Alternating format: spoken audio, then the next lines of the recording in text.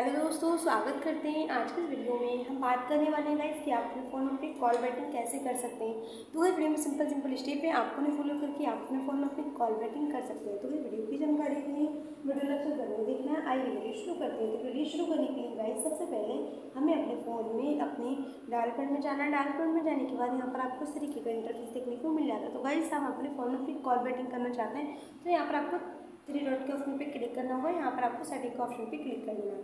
Click करने के बाद यहाँ पर आपको कई सारे ऑप्शन देखने को मिल जाते हैं तो हमारा ऑप्शन आता है यहाँ पर call display directly using apps तो आप सॉरी तो यहाँ पर आपको ऑप्शन देखने को मिल जाता है।